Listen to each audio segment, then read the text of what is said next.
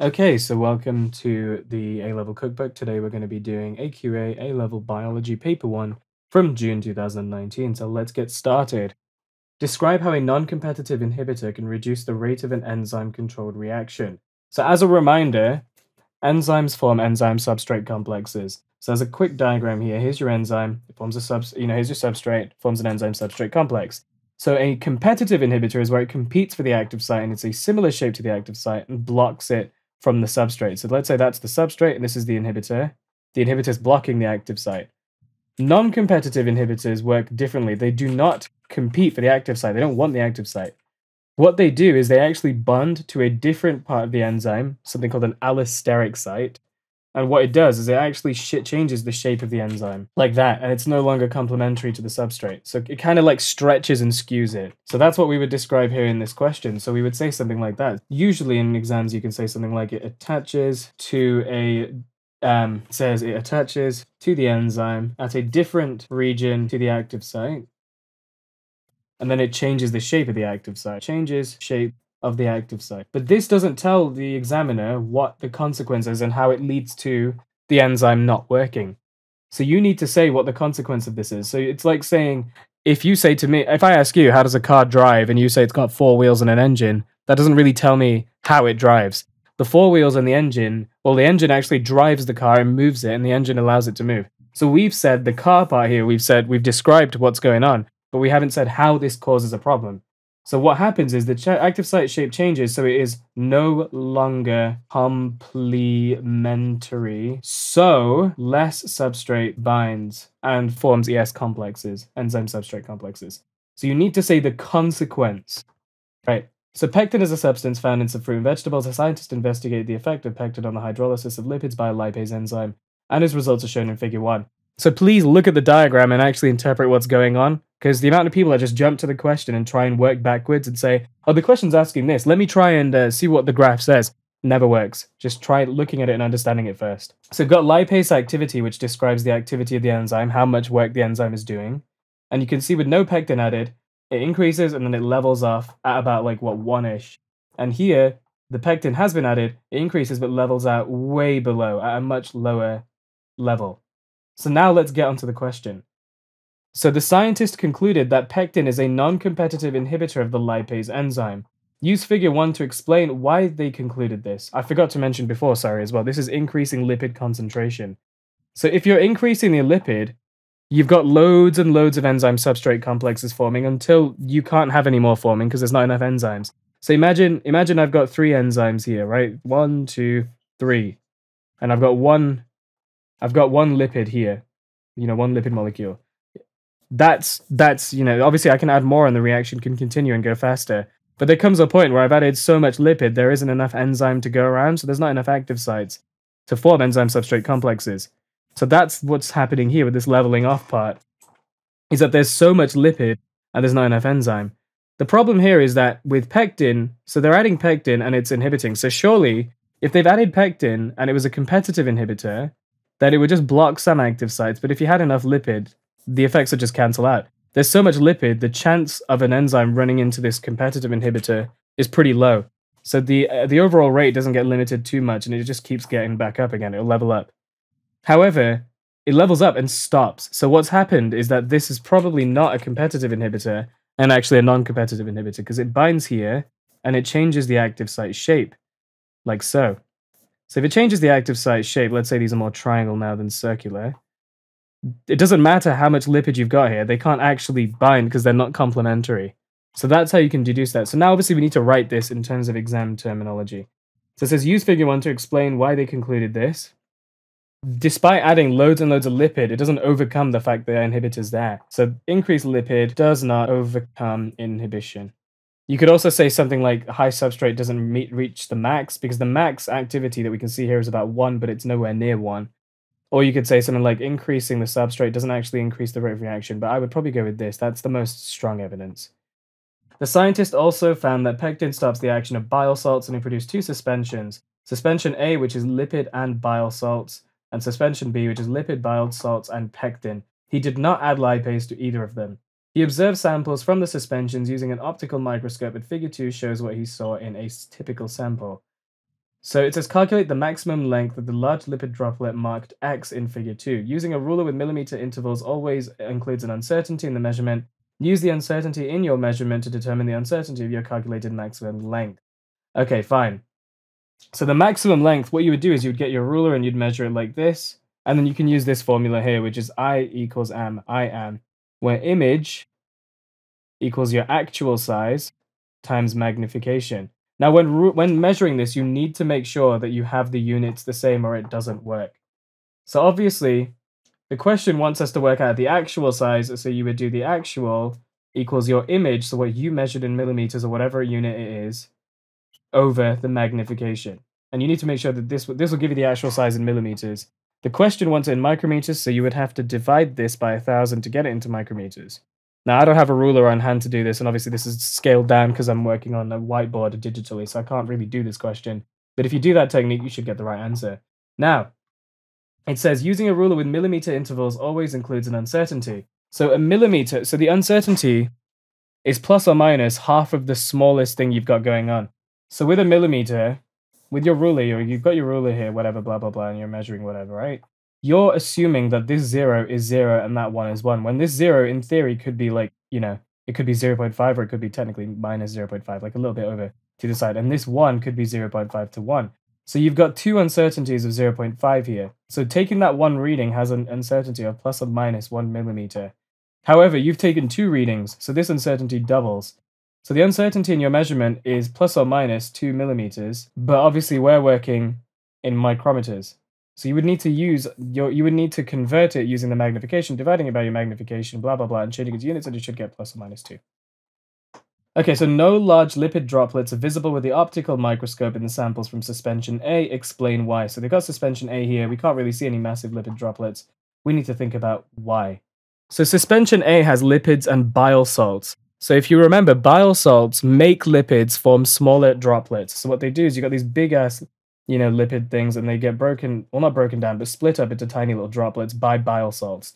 This process is called emulsification. And this increases the surface area for lipase to work on. That's the whole point of bile salts. So, the first reason as to why we can't see massive droplets is because of emulsification by bile salt. Okay, so now it's obviously asking why can't we see these as distinct things? You can see the sort of weird blurs and stuff, but you can't see distinct circles. The reason for that is because the resolution of this optical microscope is too small, so low resolution. Resolution, to summarize as a quick thing, is how well something can distinguish between two points close together. So a good resolution would you being would be being able to see these two circles as separate things. Whereas if I've got this here, if I zoom out really, really, really, really, really, really, really far, it almost looks like one dot. That's a very poor resolution because you can't tell they're two separate dots. Table 1 shows cell wall components in plants, algae, fungi, and prokaryotes. Complete Table 1 by putting a tick where the cell wall component is present. So plants have cellulose, and algae have cellulose, because algae are pretty much plants, a single-celled.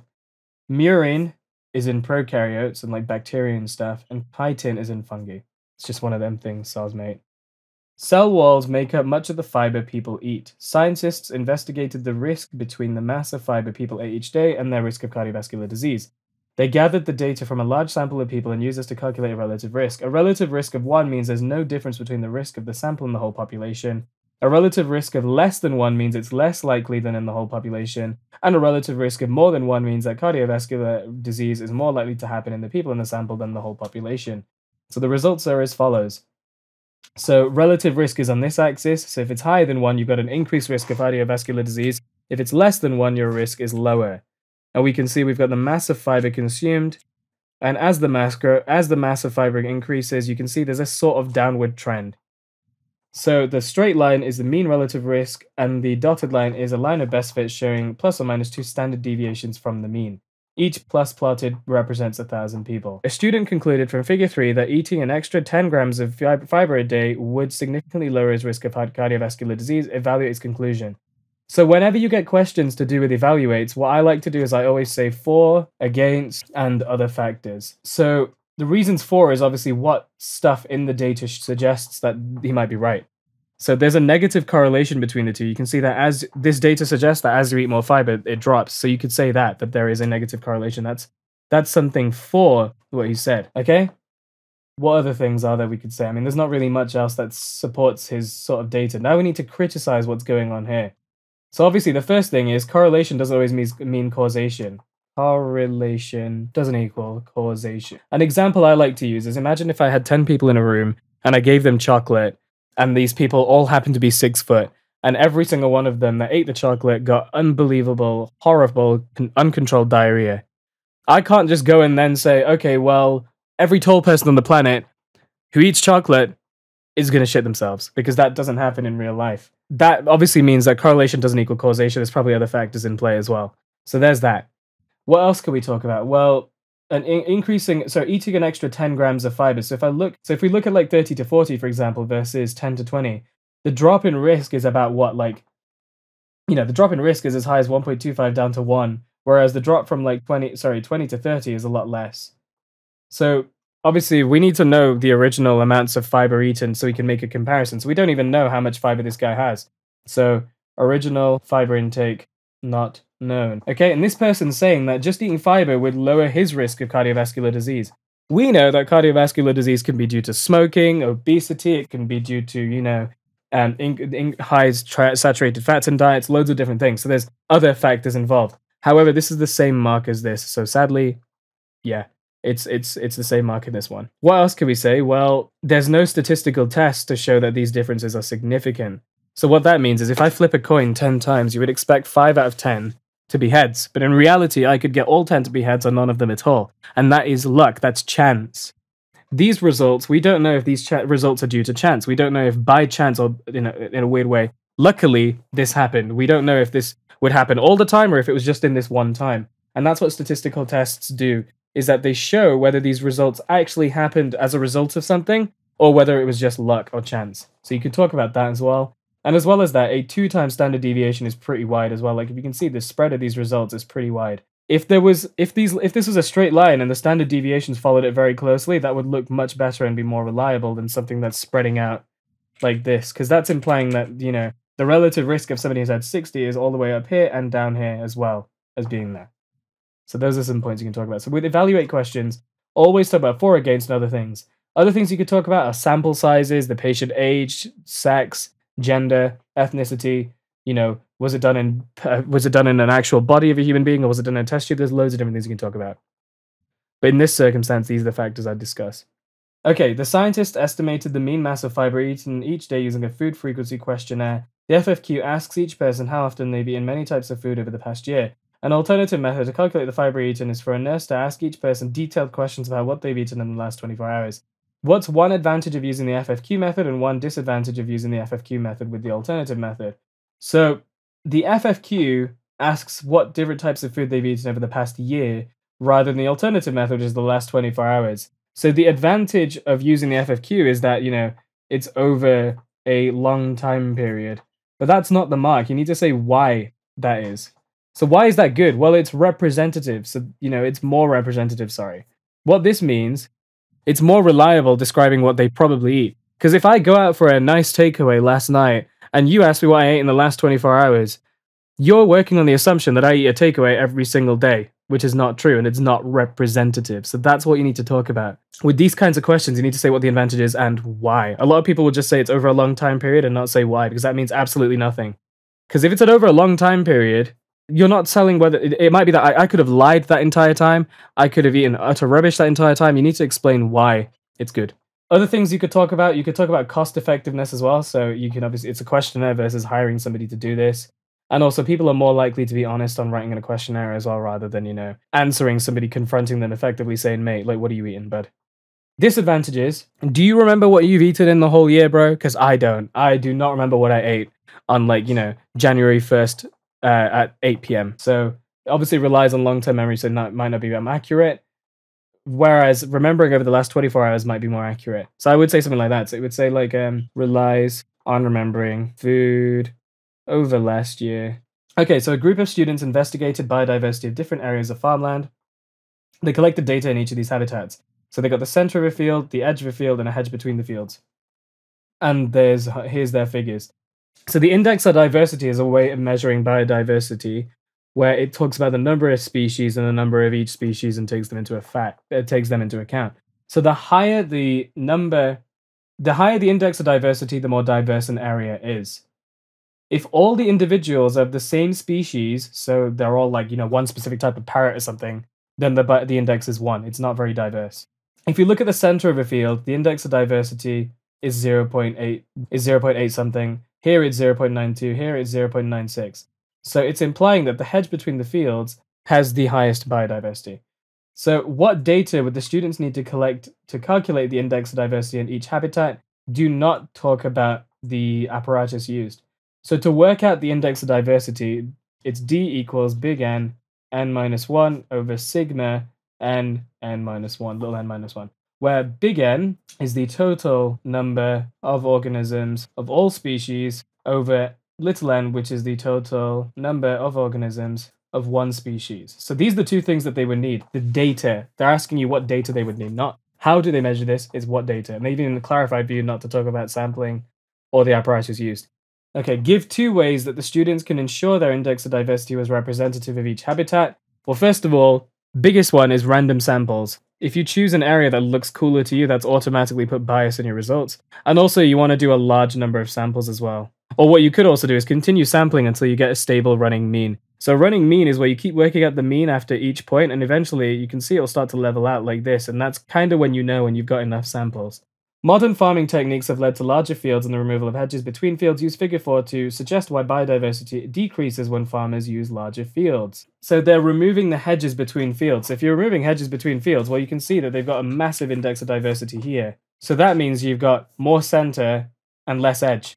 So you, you've got you've got more center and less edge, obviously, because you can't have hedges between the fields. You've obviously got to remove that too. So you've got more center and less edge so fewer species. Because if you look, you you know your index of diversity is massive here, and you've just obliterated this, and you've probably obliterated that. So there's more of this here. Farmers are now being encouraged to replant hedges on their land. Suggest one advantage and one disadvantage for replanting. The obvious advantage is that there's more biodiversity, but that doesn't really mean anything. We need to explain why that's good. If a farmer wants to make loads and loads of wheat, why on earth would a farmer want to add like all of these other different types of plants, which would take nutrients from the soil and obviously use up the stuff that the wheat could obviously take? So we need to talk about why that's a pro- why increased biodiversity is a good thing. So you could talk about increased biodiversity, meaning that there's more predators for pests. Because if you think about it, like if there's something eating wheat, something that eats the wheat is also going to be predated on by something else because food chains, you know. So that pre- there's going to be more of that predator eating the thing that eats your wheat. So that's a good thing. So there's more biodiversity. So there's more predators of pests. So that's a good thing. You could also talk about more pollinators as well. So, for example, there's more flowers that carry, sorry, there's more bees and stuff that carry pollen. So, there's more wheat as well. The mark scheme also says you could talk about attracting more tourists, but I think that's a bit of a weird one to say for farmers. Right. Disadvantages then increased biodiversity means that there's more pests, which means less, you know, useful stuff. Also, as well as that, it's more difficult to farm. They have to spend more money farming all of this stuff rather than just one thing. So there's less income too. And you could also talk about inter-specific competition as well. So like the wheat might be competing with some other plant or something for nutrients from the soil. So those are other things you can talk about. Scientists collected data on 800,000 human births. The data showed the mass of each baby at birth or whether the baby needed to be transferred to a special care unit for very ill baby. So here, here's what we have. We have population frequency here. We've got the mass at birth. And you can see that the mass of birth here is in the straight line and the dotted line is transferred to special unit. So the special units are very high at this lower extreme and then it drops towards the middle and it climbs up again at the extreme. So very babies with a very low birth weight and a very high birth weight tend to go to the special care unit, whereas ones towards the middle don't. This is called stabilizing selection. So this is an example of that.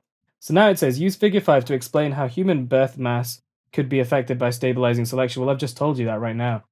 So you can see that so obviously we've got to use the figure, so we need to state some data. So if we look at around uh, let's see, like what, 2,800 ish. So around 2,800 ish, you're more likely to be in a specialist care. You know, babies less than 2,800 grams, increased likelihood of specialist care unit. And then obviously the same goes for babies that are over what, like 4,200 ish, maybe. So same for babies. Obviously, you'd write it like a bit better than this, but yeah, over 4,200 grams. Babies in the middle have least transfers to, you know, the um, specialist care unit. Therefore, babies at each extreme less likely to survive and and pass on their alleles. You need to talk about that for extreme mass. Therefore, the middle is favored.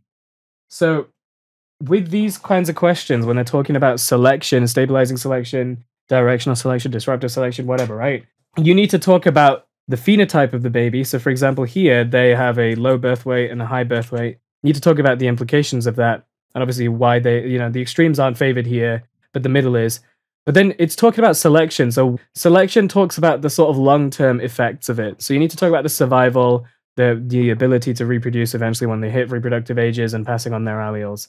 Because what stabilizing selection means is that the individuals in the middle are favored and they are more likely to survive and reproduce, blah blah blah, and so on.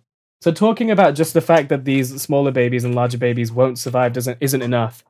It doesn't show that there's selection going on. There is a there is a driving force changing the proportion. Because what this is trying to get at is that babies with a lower mass and a baby with a higher mass are less likely to survive and reproduce. So over time, most babies will have alleles that make them have a you know a middle mass at birth rather than these extremes. That's what selection's talking about. In the same way, if we had something like directional selection, so for example, if we lived in a very cold climate and we had a graph like this where there's lots of fur and little fur, the individuals with little fur are going to, you know, obviously not survive, not reproduce, and so on. But the individuals with lots of fur are eventually what's going to happen is the the number of individuals with little fur is going to drop, and the number of individuals with lots of fur are going to increase because the ones with lots of fur are more likely to survive, reproduce, pass on the alleles that's that encode for lots of fur. That's what selection's talking about. The end goal, the end effect. So the scientists studied the effect of one form, KIR2DS1, of the human KIR gene on the mass of births. It says Write the correct biological term beside each number below that matches the space in the passage. So KIRD so KIR2DS1 is a something.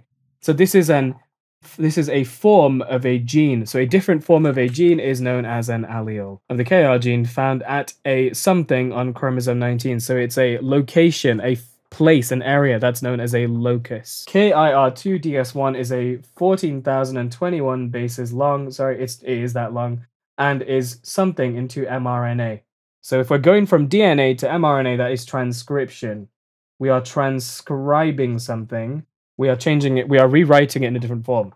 Uh, that is one thousand. Sorry, one thousand one hundred and one bases long. This mRNA is then something into a polypeptide. So you're making a protein out of it. So that's translation. That is 304 amino acids long. The polypeptide is then modified in the organelle before forming its functional something structure. So we need to, so we need to talk about the organelle that processes and folds proteins and stuff, which is the rough endoplasmic reticulum.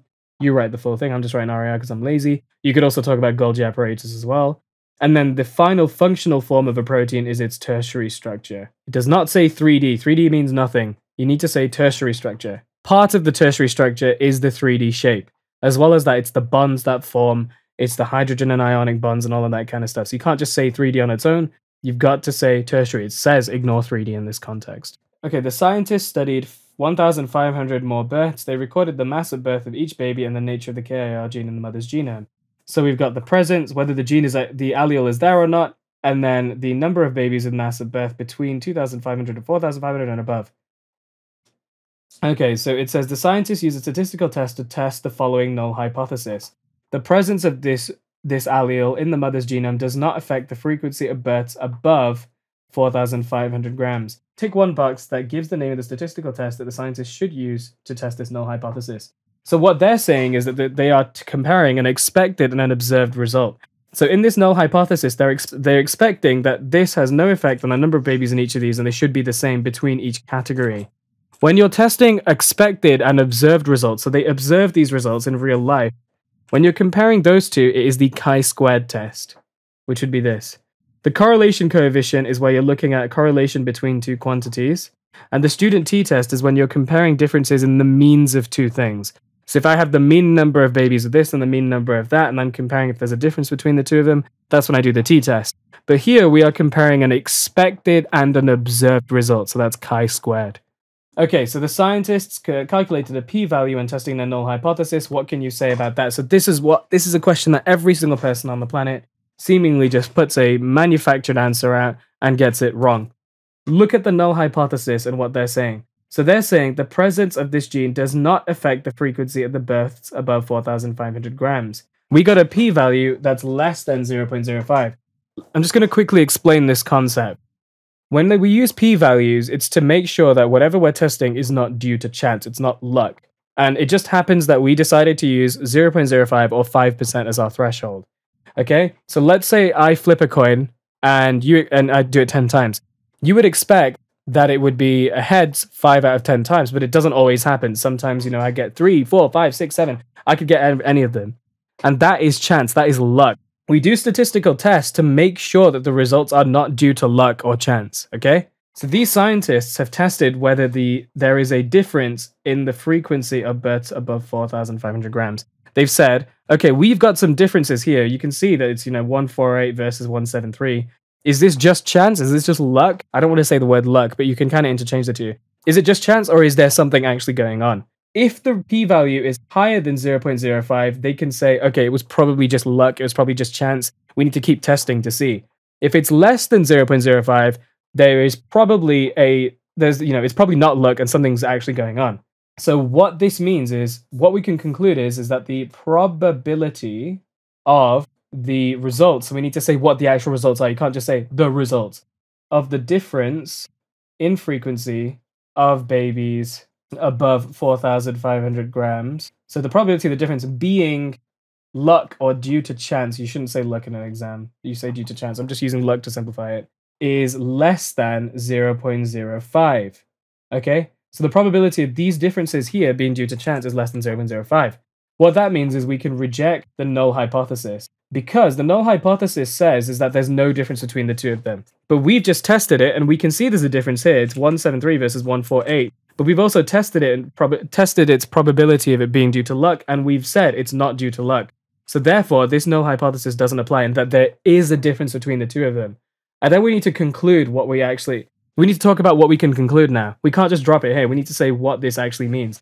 This means that the presence of KIR2DS1 or whatever the allele is does affect the frequency of high birth mass or births above 400 sorry or births above 4500 grams. It's really important you get your terminology right in this stuff. So again just to summarize they are testing whether this difference we see here the 148 and the 173 is luck because their null hypothesis says they should be the same. So should, they should both really be 448 but they've tested it and they see there's a difference. So now they want to see is this test luck or did it actually happen? They've tested the probability and the probability is 0.03. So the probability of these results being due to luck or being due to chance is less than 0.05.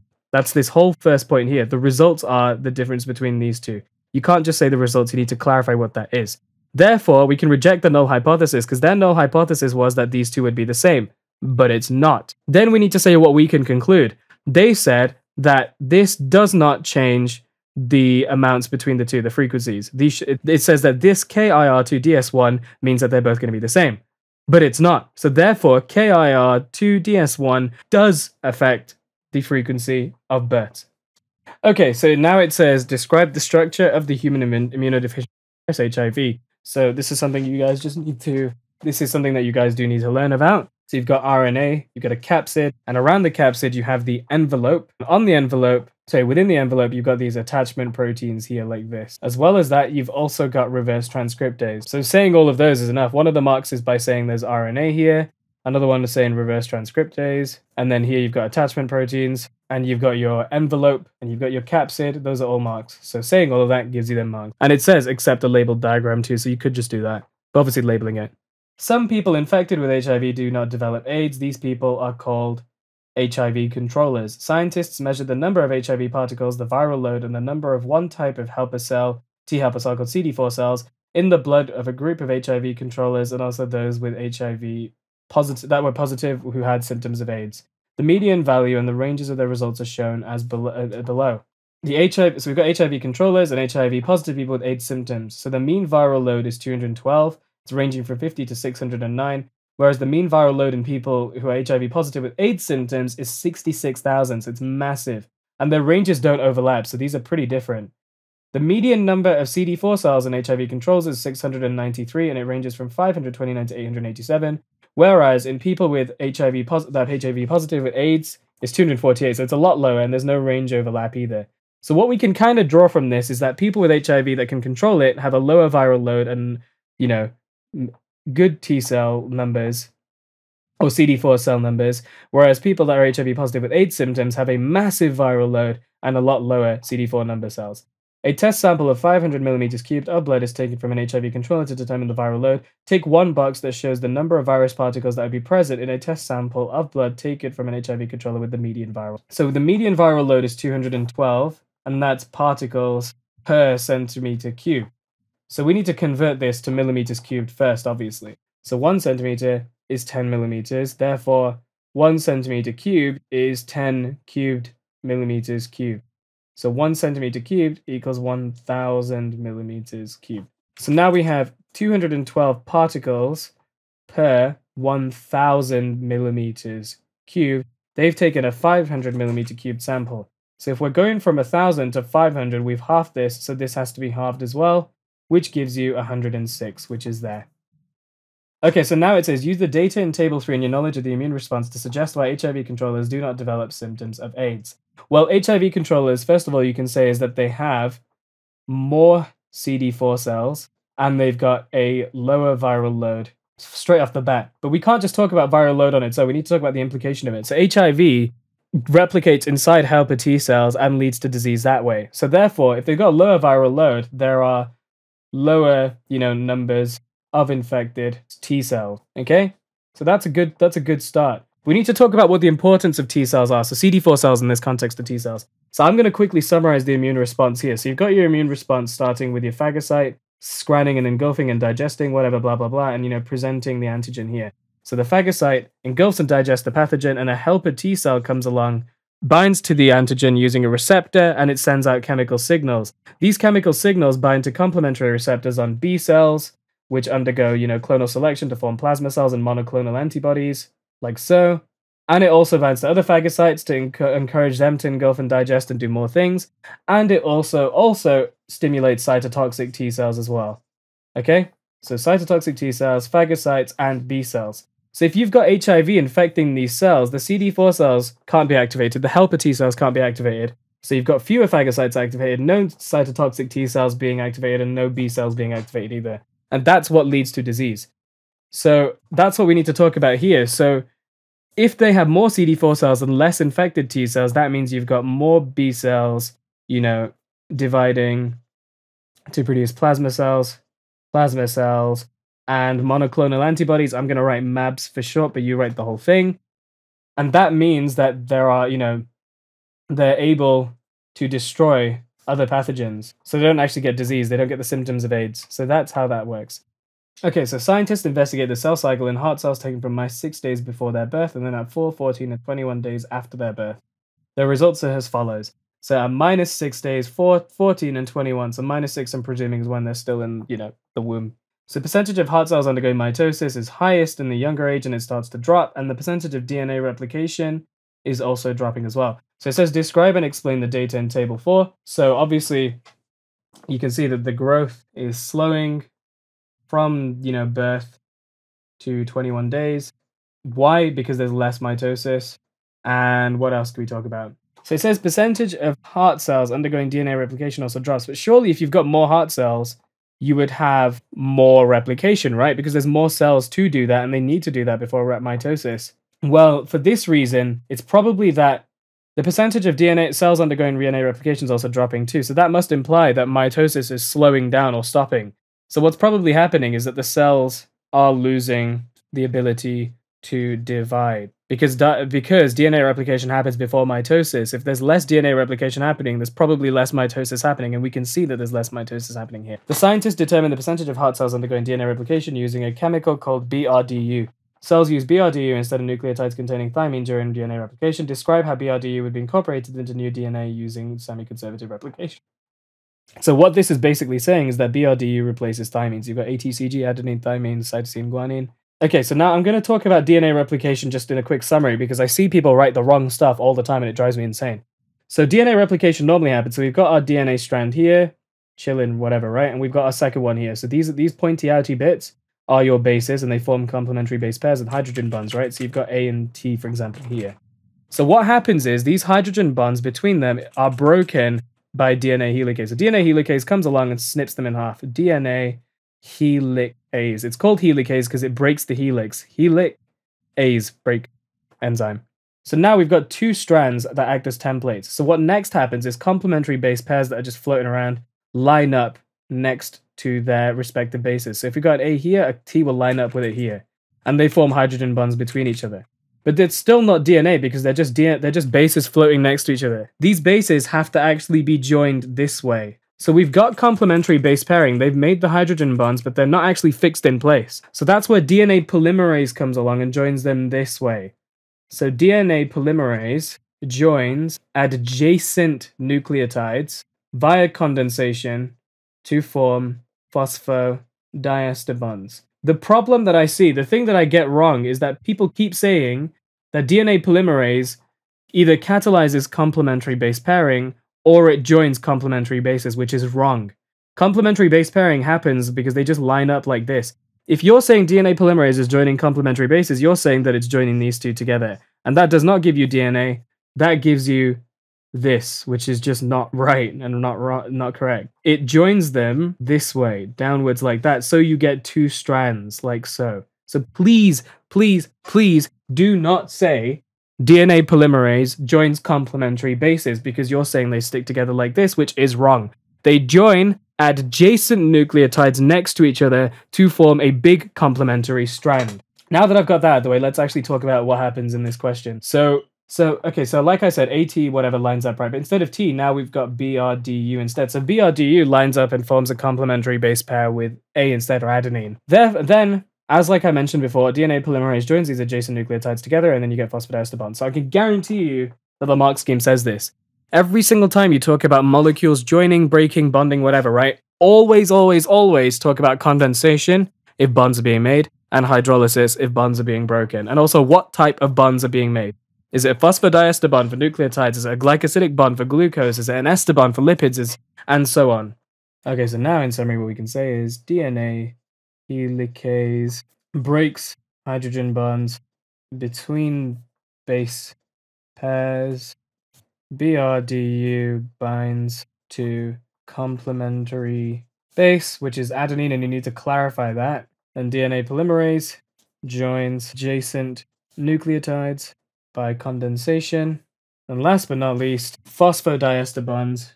Cells with BRDU in their DNA detected using an anti-BRDU antibody with an enzyme attached. Use your knowledge of the ELISA test to suggest and explain how scientists identified the cells that had BRDU in there. So you've got your antigen here. In this case, this is going to be our BRDU. We add an anti-BRDU antibody with an enzyme attached, and that will obviously combine. It will stay fixed in place. Then obviously you want to wash off all the other unbound antibody, like so. So that all gets washed off.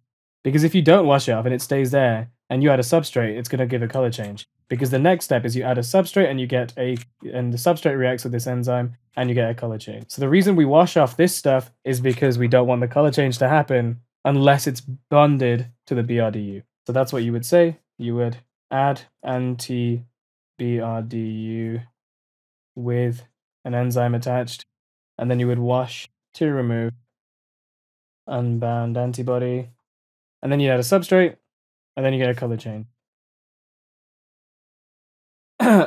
Lactuca is an alga that lives on the rocks in this on the seashore. It's regularly covered by seawater, and here's a diagram of it. So you've got a thallus, the green light leaf part, and you've got the holdfast which attaches to the rock. Unlike plants, Lactuca does not have any xylem tissue, suggest how it's able to survive without it. Okay, so it says that it's generally covered by seawater, so this thing's surrounded by it it probably doesn't need xylem because it's not really trying to, you know, get water up from the roots and stuff. It's surrounded by it. So it's probably really thin and has a short diffusion pathway. Or it might be that it's got loads and loads and loads and loads of little holes and water can enter. So it's either got a short diffusion pathway or it's perme- it's got a surface that's permeable to water. So short diffusion pathway. So Ulva lactuca has a haploid and a diploid form and it shows the life cycle. So you've got all of this stuff here. You've got the diploid alga, haploid mobile single cell, haploid alga, two haploids making a diploid zygote, and so on. On figure 7, complete each box with an appropriate letter to show the type of cell division happening. Use T to represent mitosis and E to make meiosis. You're going from diploid to haploid, so that has to be meiosis because you're making gametes that are haploid. So the next step is you're going from a haploid to a haploid, but it's a bigger thing. So it's this single cell now becoming a whole alga. So this has to be T as well. Because if it was if it was my if it was meiosis, which is E, that would half again, but that's not halved. It's still haploid here, so it still has to be T, because you know they're breaking off whatever it might be that they're doing, but it's still a T. These two haploids combine to make a diploid, and then this diploid becomes another diploid and splits. So it's a diploid zygote becoming the whole alga, so it has to be mitosis because you're still keeping the chromosome number the same.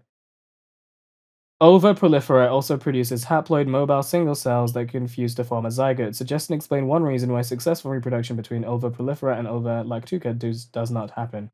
Okay, well, you can see that this is Ulva prolifera, so the genus is Ulva, and that's still genus, same same genus Ulva, but this is proliferate, and that's lactuca, so they are different species.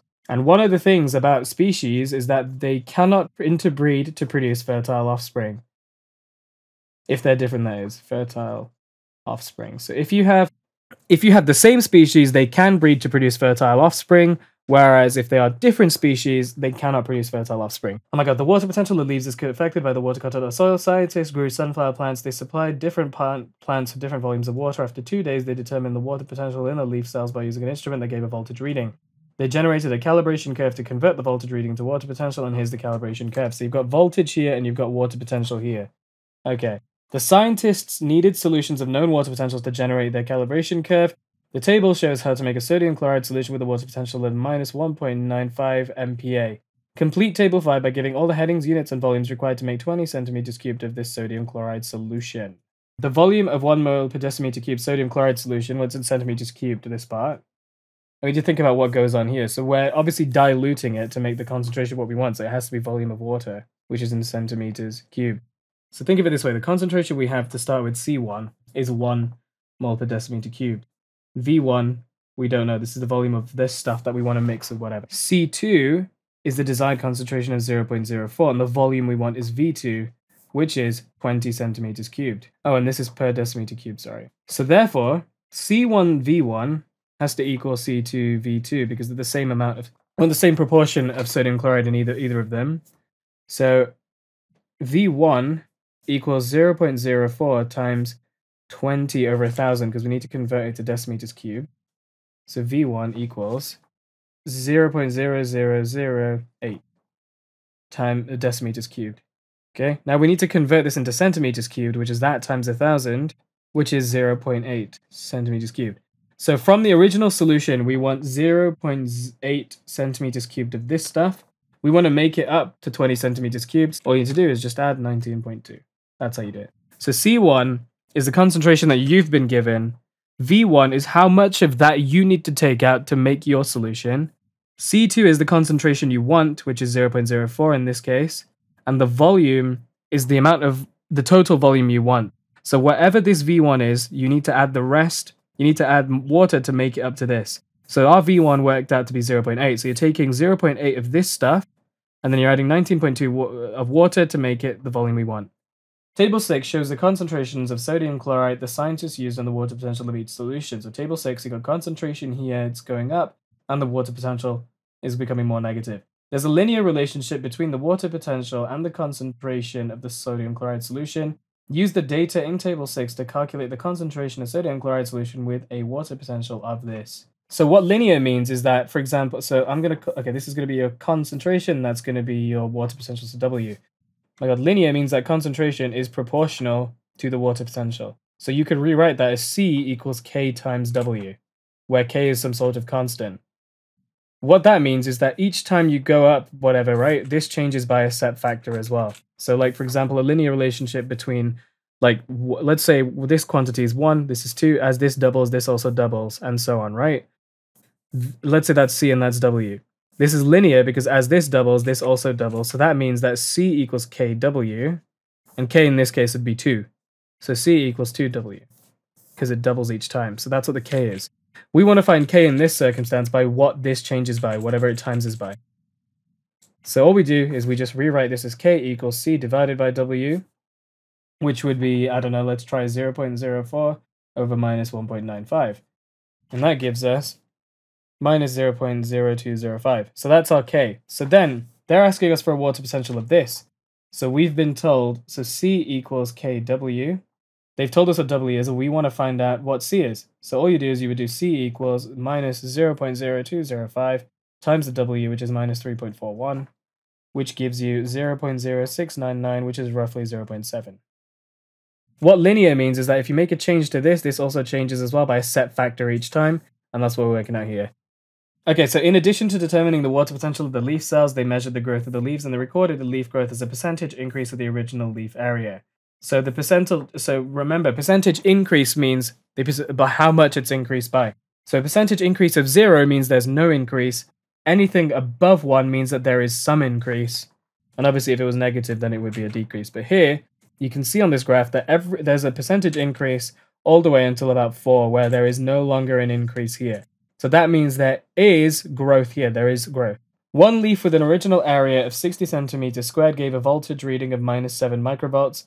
Use figure 8 on page 28 and figure 9 to calculate by how much this leaf increased in area and give your answer in centimeters cubed. Okay, so we need to, so we gave a voltage reading of minus 7 microvolts. So we're going to look for minus 7. We're going to read across to the curve, to the line, sorry. We're going to read across to the line, and it gives you minus 2. So you, you've got a minus 2 water potential. So now what we need to do is now correlate it to this graph, which you can see is minus 2 here, and read it off, which gives a 15% increase. So 15% increase. The original area was 60 centimeters cubed, so a 15% increase would be 60 times 115 over 100, or you could do 60 times 1.15, and that gives you 69 centimeters squared. Nice. To work out a percentage change, all you do is the value times the percentage over 100. If it's a percentage increase, it would be 115% or something like that, you know, that percentage on top of the 100. But if it was a decrease, it would like say it was like 8 15% decrease, it'd be 100 minus 15, so that would be 85 over 100. Okay, so sunflowers are not xerophytic plants. The scientist repeats the experiment with xerophytic plants. Suggest and explain one way the leaf growth of xerophytic plants would be different from the leaf growth on sunflowers on figure 9. Okay, so if you look at figure 9, the percentage growth is lower and lower and lower until you hit about 4. A lower water potential eventually leads to no growth. Xerophytes are plants that are able to live in really harsh environments like low water. So what's probably going to happen is that their curve is probably going to look something like this, where they can continue to suffer a bit and continue to grow. So that's what I would say. So growth may continue at lower water potential. Now, why is that? They may be adapted to using less water in, in metabolic reactions. Also, you could probably talk about the other the other side of it where they have fewer stomata, so there's lower slow growth. But that's what I would say. They're keeping the conditions the same, so they're still getting the same amount of water given to them, so it has to be something to do with them using the water differently. Use your knowledge of gas exchange in leaves to explain why plants grown in soil with very little water grow so slowly. When you have low water, the stomata close. Now, everyone gets confused about this, so I'm going to explain it real quick. So stomata, there's little pores in plants that are important in plant gas exchange. So they let CO2 in and water because you need those for photosynthesis, right? And that makes glucose. And oxygen is released as a waste product. The problem, though, with this is that water sometimes leaves as well. And that's a bit of a trade off, unfortunately. So when they're photosynthesizing, they need the oxygen, but they have to open the stomata, and that lets the water escape. However, plants have adaptations for this. They, there's guard cells that surround these and cause them to close. So if a plant is losing too much water or thinks it's going to lose too much water, for example, if they're in an environment where there's very low water potential, the stomata closes. If the stomata closes, that means that CO2 can't get in as easily, and obviously H2O can't get in as easily. So there is less photosynthesis. If there's less photosynthesis, that means there is less glucose. If there's less glucose, then there's less energy for growth, respiration, blah, blah, blah, you know, all of that stuff. So that's what we need to say. So if, there, if, if there's le- very little water, the stomata close, therefore less CO2 uptake, and then less photosynthesis, and less glucose production. Okay? Question, that effect of water being lost is called transpiration, where water is lost from the plant. It's a trade off, and plants don't like it. The following equation can be used to estimate the metabolic rate of an animal. The metabolic rate equals 63 times the body mass in grams to the power of minus 0.27. Use this equation to calculate how many times faster the metabolic rate of a mouse is than that of a horse. Okay, so for the mouse, it would be 63 times 23 to the minus 0.27, and for the horse, it would be 63 times the mass, which is 550,000 to the minus 0.27, is 27.02 and then the other one, 550,000, is 1.776. 27.02 over 1.776 equals roughly 15. So it's about 15 times faster. The data in Table 7 shows the differences between oxyhemoglobin dissociation curve for a mouse and the oxyhemoglobin dissociation curve for a horse. Suggest how these differences allow the mouse to have a higher metabolic rate than that of the horse. Okay, so I'm presuming from this question your curve looks something like this for the horse, and this looks like this for the mouse. It's a little bit to the right, right? So it says, suggest how these differences allow the mouse to have a higher metabolic rate than the horse. So we just need to look at these curves and compare them basically. Okay, so the way I remember this is low affinity, right, high affinity, left. Sadly, there's no hack besides that. So the mouse hemoglobin's on the right. So the mouse HB is a lower affinity. And why is that? It's because it wants to give oxygen away more freely. If has a low affinity, the hemoglobin doesn't bond as strongly to oxygen and readily dissociates it more. That's important because it means that oxygen can more readily be given to respiring tissues. It can be unloaded at higher partial pressures. So that's what it is, is that more O2 unloaded for use in respiring. The bit that people always miss out is they say there's more oxygen unloaded, but they don't explain why that's important. You need to say it's because there's more oxygen available for respiring tissues, or else what's the point? Mammals such as a mouse and a horse are able to maintain a constant body temperature using knowledge of surface area to volume ratio to explain the high metabolic ra- rate of that of a mouse and a horse. This question comes up a bajillion times. Mouse, okay, so a mouse has a massive surface area to volume ratio compared to a horse. A horse is much more dense. So therefore, they lose heat faster. Therefore, they respire more to release heat. Do not say produce heat or generate heat. That's what it, it says to reject that. You can't create you can't create heat. To keep a stable internal body temperature, we respire more or less to release more or less heat. That's one of the things we can do. So whenever you get a question about something being like, "Oh yeah, why does it have such a fast high metabolic rate and you know and constant body temperature?" This is the kind of thing you want to say. Okay, so now it says explain five properties that make water important for organisms. I'm just going to verbally talk about these because my hand is getting tired from writing.